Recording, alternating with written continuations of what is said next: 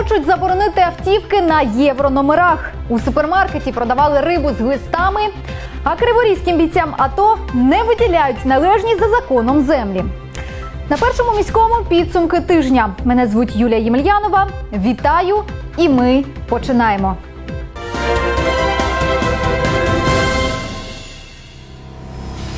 Легалізують чи заборонять в Україні автівки на європейських номерах? Риба з сюрпризом. Криворожанка в одному із супермаркетів міста купила скумбрію з глистами. Без права на землю. Чому бійцям АТО не видають їх законні земельні ділянки? У криворізьких школах з інклюзивною освітою з'явилися нові медіатеки. День рятувальників. Чим хизувались криворіжські відчайдухи?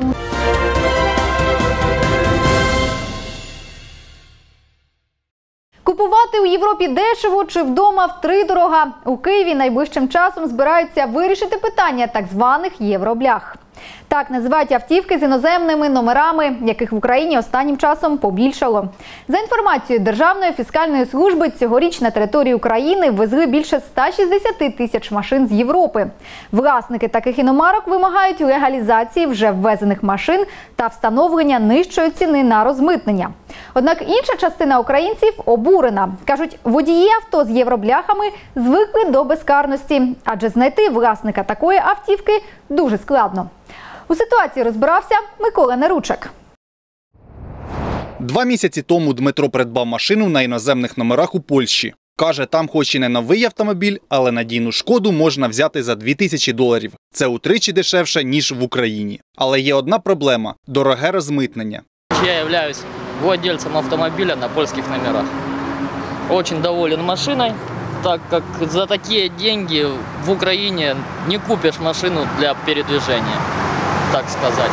В Европе же это доступно, можно пригнать машину любого класса за любые деньги и радоваться жизни. Придбати автівку в Європі легко, були б тільки гроші. Усього три доби після замовлення і машина ваша. Автодилери розповідають, саме тому євроіномарки користуються в Україні попитом.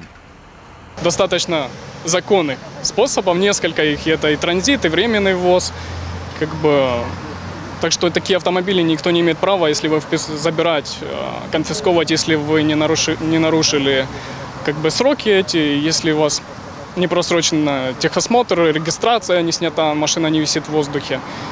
А, Ну и как бы есть данные законные основания ездить на таком авто- автомобиле. Таких як Дмитро в Україні багато. Знизити акциз, скасувати стандарт Євро 5 та нарешті легалізувати ввезені авто. Минулого тижня власники машин на єврономерах вимагали ухвалити зміни у законодавстві під стінами парламенту. Водії з різних куточків України паралізували рух у Києві.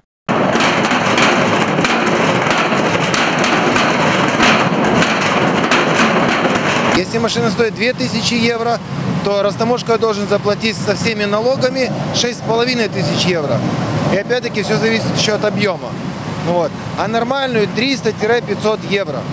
То есть мы готовы эти деньги заплатить нашему государству, пополнить бюджет и спокойно, как белые люди, поставить на украинский учет и ездить, чтобы нам не было претензий.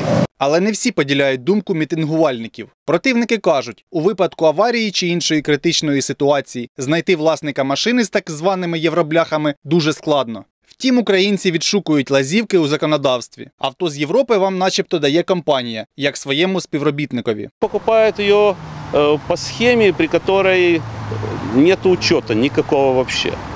Машина оформлена на какую-то работающую на Украине фирму, поэтому при любых ДТП никто не разберется, кто виноват, кто прав. И безнаказанность. Вот эта безнаказанность, она больше волнует э, как бы население, обывателей.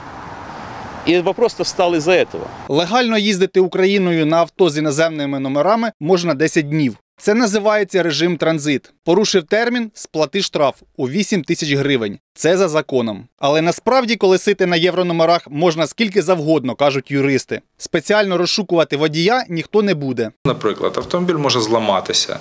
Для його ремонту потрібен якийсь певний час. Вони повідомляють митницю про те, що автомобіль е, не може виїхати в зв'язку з тим, що е, він е, перебуває в несправному стані, і таким чином е, уникають і відповідальності, і вивозять транспортний засіб тоді, коли їм зручно, або ж ну. Або ж після ремонту, якщо дійсно там цей транспортний засіб був в несправному стані.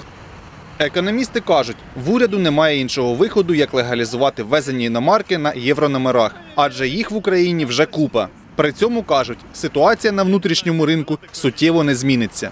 Зараз акція власників автомобілів на єврономерах це вже вимушений хід, коли люди в умовах зниження купівельної спроможності в Україні хочуть отримати достойної якості автомобіль за доступну ціну. Тому зараз у влади, я вважаю, немає іншого виходу, ніж е, легалізувати ті автомобілі, які вже ввезені в Україну, шляхом встановлення на них е, більш-менш помірних податків. Нардепи обіцяють вирішити проблему впродовж найближчих місяців. Власникам ввезених авто пропонують ціну розмитнення до 1400 євро в залежності від об'єму двигуна. За даними Державної фіскальної служби, цього року в Україну потрапило більше 160 тисяч авто з єврономерами. І це лише офіційні цифри. Микола Неручик, Дмитро Мікрюков, В'ячеслав Безкаравайний. Підсумки тижня. Перший міський. Риба з сюрпризом. Ось така скумбрія може зовні не вирізнятися з поміж інших, але це ще не гарантія якості. Усередині рибини залюбки можна знайти хробаків. Така історія трапилася з криворожанкою на ім'я Юлія. Жінка придбала скумбрію, принесла додому, а там черв'яки. Товар пані Юлія повернула до магазину, але на цьому скандальна історія не закінчилася. Що буде далі, знає Карина Гутяр. 5 вересня Юлія придбала заморожену скумбрію в одному із супермаркетів Сільпо, аби приготувати вечерю. Жінка розповідає, прийшла додому, розморозила рибу та побачила жахливу картину. Всередині скумбрії були хробаки. Вона одразу повернулася до магазину, аби віддати зіпсований товар. Юлія каже, попросила адміністрацію надати документи, які підтвердять якість продукту. Але на її прохання ніхто не відреагував. Тільки після того, як викликала поліцію, їй показали сертифікат. Я приобрела скумбрию свежемороженую, Э, пришла домой, дома разрезав ее, я увидела нестандартные внутренности, и когда стала присматриваться, я обнаружила там червей. Червей и очень много личинок червей, которые еще не вылупились. Адміністратор супермаркету розповідає, після звернення покупця зіпсований товар прибрали з вітрини. Але через три дні риба у магазині знов з'явилася. Ще й зі знижкою, каже Юлія. Виявилось, в цій скумбрії теж були хробаки. Жінка поскаржилася у міський відділ захисту прав споживачів. До супермаркету приїхали чиновники міськвиконкому та металургійної райради. Скумбрію відправили на перевірку в лабораторію. Аналіз показав, що у рибі, яку купила криворожанка, є глисти. Исследования Управления ветеринарной медицины в Кривом Роге показали, что э, в данном магазине есть превышение почти в 5 раз. Середня кількість е, неживих е, гельментів та їх лічинки небезпечні для людини. Не більше 5 екземплярів на 1 кілограм їстивних частин м'яса. Э, В данном случае э, к- э, те документы, которые предоставили нам по качеству, э, было написано «не ви- э, «не выявлено» а э, ни одного экземпляра. А вот экспертиза показала, что в данном случае выявили 28 экземпляров. Адміністратор супермаркету божиться. Після отримання результатів аналізу рибу повернули постачальнику. Кажуть, наразі небезпечної скумбрії немає в жодному магазині мережі. По рыбе, которая была снята с реализации по сигналу гостя. Рыба была отправлена на экспертизу, как мы обещали. Э, Получив результаты, да, они оказались превышены по э, количеству гельментов э, в рыбе. Эта партия отправлена назад поставщику. И дальнейшая судьба будет отслеживаться уже нашим ну, предприятием. Результати аналізу показали, що кількість глистів у скумбрії перевищує норми в 5 разів. Спеціалісти говорять, якщо з'їсти такий продукт, це може призвести до серйозного отруєння. Карина Гуцяр, Віктор Зубченко, Роберт Сіваков. Підсумки тижня. Перший міський. Кривдять бійців АТО. Криворізькі бійці АТО не можуть отримати землі, які їм мають виділити за законом. У Держгеокадастрі виправдовується винен уряд. Є постанова, яка квотує землі. Спершу їх повинні взяти в оренду фермери, а вже потім певний відсоток можуть приватизувати бійці АТО та їх родини. Ветерани АТО з цим категорично не згодні, адже фермери не поспішають брати землю ще й у такій кількості. А тому наші захисники повинні чекати. А термінів не знає ніхто. Розповість більше Галина Ганзенко. Олег поїхав у зону АТО в 2014-му. Служив у 17-й окремій танковій бригаді, попадав під обстріли у станиці Луганській. У 2015-му повернувся додому. За законом він має право на 2 гектари сільськогосподарської землі за межами міста. Через єдине вікно подав документи, але не отримав підтвердження на обрану ділянку. У листі від обласного держгеокадастру йому порадили звернутись наступного кварталу. Документы я подал э, на землю в э, апреле месяце. Вот пришел мне отказ э, из Днепропетровска Держкомзема, вот, э, мотивируя 413 статьей, вот, которая э, гласит призупинення видачі е, позачерго- позачергової земельних ділянок е, учасникам АТО та сім'ям загиблих. Землю е, искали мы сами, ассоциация. Вот, э, земельный участок э, в селе Лозоватка. Вот, но она, не- этот, э, этот э, участок не относится к сельской раде, вот, то есть она державна. Такі листи вже отримали мінімум 12 бійців з Кривого Рогу. А все через постанову Кабінету міністрів України. Вона повідомляє, що одразу необхідно надати землі в оренду фермерам, а лише потім дозволяти приватизацію атовцям. участников боевых дій выдавать землю лишь только после того, когда продадут землю. То есть квотування. Тысячу гектар продали, 250 гектар могут отдать атошникам. То есть для нас это ну, вообще никак не подходит. Наш Криворожский геокадастр нам все дал. У нас есть экипировка этих земель, полностью все на это. Почему мы у них просим, чтобы те земли, которые мы нашли для себя, чтобы они нам хотя бы их как-то зарезервировали. Чтобы мы понимали, что эта земля будет, что наши люди уже их ее получат. Ті, хто отримали відмову, мають змогу оскаржити це у суді. Але вирок стане таким же самим звернутись у наступному кварталі. То есть нас загнали в такой цикл, в котором мы подаем документы, получаем видмову, подаем в суд, опять подаем документы, и так это может длиться бесконечно, понимаете? Веры в то, что они наладят э, процесс с аукционами, и появится вот эта квота, которая удовлетворит всех участников АТО, я не верю в это.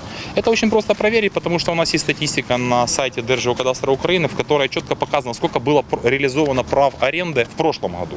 В обласному держгеокадастрі запевняють, не можуть надати всі землі одразу ж. Обіцяють, будуть намагатися вплинути на скасування цієї постанови та забезпечити землями родини загиблих бійців. От зайшли пакети документів. Член сімей, сім'ї загиблих учасників АТО. То не треба ніяких там виводити якихось лімітів. Якщо це запрацює, а я постійно так само моніторю оці всі звернення, оці весь баланс, е, як кажуть, е, від громадських активістів, таких як ви і інших, що все ж таки е, буде, як наскільки мені відомо, що буде таке е, пом'якшення і найближчим часом, що оті, е, оцей ліміт, е, все ж таки оця квота не буде розпространятися на членів сімей загиблих.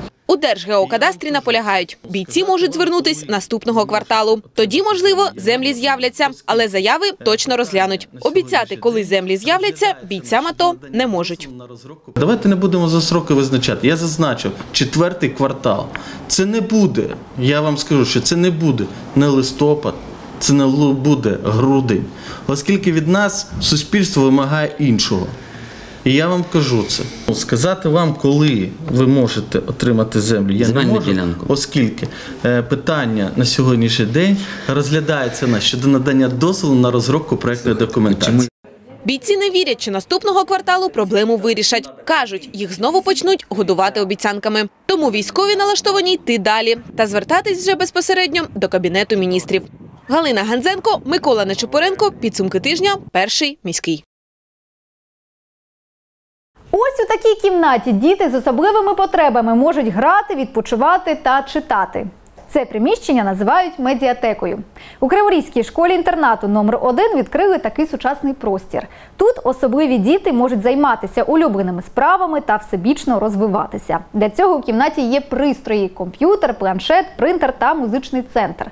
Такі оновлення зроблені за програмою розвитку шкіл з інклюзивною освітою дружини президента Марини Порошенко. У новій медіатеці побувала Карина Гуцяр. Музичний центр, комп'ютер та планшет. Ці сучасні пристрої відтепер будуть в школах з інклюзивною освітою. Як кажуть спеціалісти, вони необхідні та допомагатимуть дітям з особливими потребами. А такі кімнати допоможуть у реабілітації школярів. У школі-інтернату номер 1 навчається 198 особливих школярів. Відтепер в приміщенні закладу буде кімната, де вони зможуть відпочити. Там з дітьми займатимуться педагоги, логопед і дефектолог. Олена розповідає, працює з особливими учнями вже 6 років. Каже, головне знайти до дитини підхід. Дети все очень индивидуальные. Вот, э, самый главный индивидуальный подход. Если ребенок пришел уставший, агрессивный, есть смысл повести ребенка в медиатеку и расслабиться. Расслабить его, снять э, излишний тонус. И убрать агрессию, немножко дать ребенку отдохнуть, даже поиграть. Такі спеціальні кімнати називають медіатеками. Вони необхідні для дітей з особливими потребами, аби допомогти їм розвиватися. У приміщенні є три зони: ігрова, активна та релаксу. Тут школярі можуть посидіти за комп'ютером, почитати книгу та навіть поспати. Блакитні стіни, а на стелі зірки. Все це зроблено, аби дитина могла відпочити. Это медиатека с элементами психологической разгрузки детей. То есть, если вы обратите внимание, здесь есть современные стеллажи книжные, здесь э, уже э, нам из Киева пришла современная литература, красивые новые книги. Можно и в компьютер с ребенком, э, то есть интернетом воспользоваться, развивать ребенка в информационном просторе. Можно дать ребенку планшет, развить какие-то э, игровые моменты. То есть современные игры позволяют и логику развивать, и внимание. Облаштували медіатеку за програмою розвитку шкіл з інклюзивною освітою дружини президента Марини Порошенко. Сам проект запрацював наприкінці 2016 року. Спочатку відкрили таку інтерактивну кімнату в Запоріжжі, а у березні цього року перша леді країни передала проект Дніпропетровщині. Тоді губернатор Валентин Резніченко пообіцяв, облаштують медіатеки у 50 школах регіону вже до кінця 2017-го. як нашому новому партнеру е, проєкти медіатеки. Е, Це вже працююча модель, яку можна відразу брати і реалізувати в житті. Я вам передаю його, і е, я впевнена, що вже в близькому майбутньому всі наші е, е, проєктні школи з інклюзивною формою навчання будуть мати такі сучасні медіатеки. Такі оновлення з'являться у трьох закладах Кривого Рогу. Крім школи-інтернату номер 1 ще в 58-й школі та у навчально-виховному комплексі 278. Карина Гутяр, Роберт Сіваков. Підсумки тижня. Перший міський. Врятувати життя будь-якою ціною це вміють криворізькі рятувальники. Наприкінці тижня вони провели показові навчання біля стадіону Металург. Всі бажаючі мали змогу на власні очі переконатися в вмінні та знаннях тих, хто у будь-яку хвилину готовий вирушити на місце пригоди в разі виникнення надзвичайної ситуації. Про мужніх чоловіків, які щоденно рятують містян з вогневих пасток, розповість Олександр Фефілаців. 11 років служби на благо містянам. Щомісяця Роману з колегами доводиться не менше 20 разів виїжджати на тривожні виклики. Щоразу різні випадки, але найбільшою винагородою вважає вдячність людей, яких вдається врятувати. Каждый выезд на ликвидацию аварии – это помощь людям, которые ее требуют. Вот. Поэтому один даже из, из недавних э, ликвидаций аварии вот, на нашем заслуженном предприятии, это было падение человека в бункер. Вот, когда мы его достали, уже э, эвакуировали на носилках вниз по лестничным отделениям. Он держал за руку нашего доктора, говорил, спасибо, ребята, что вы есть. На честь 105-ї річниці створення гірничо-рятувальної служби біля стадіону Металург відбулись показові навчання працівників. Побачити вміння та навички відчайдухів прийшли наживо до трьох сотень містян. Гірничі рятувальники змоделювали ситуацію займання автоцистерни із хлором. Костюмы предназначены для защиты от сильнодействующих ядовитых веществ.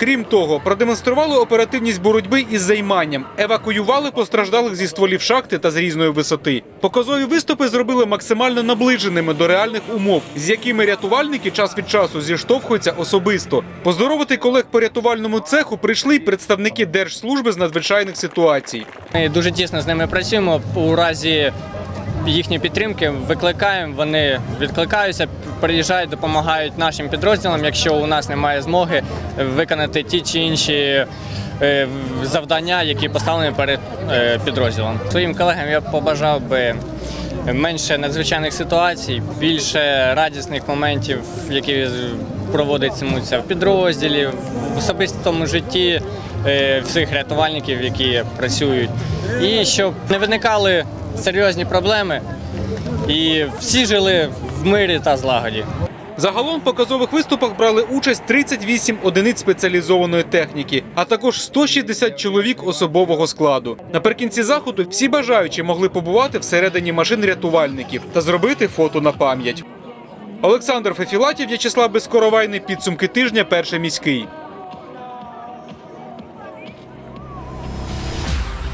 Хлопцям-рятувальникам мужності та стійкості. А містянам все-таки бажають зустрічати вогнеборців тільки на показових навчаннях. З вами була Юлія Ємельянова. Про події дізнавайтеся вже у понеділок, традиційно о 5 вечора. Щасти вам!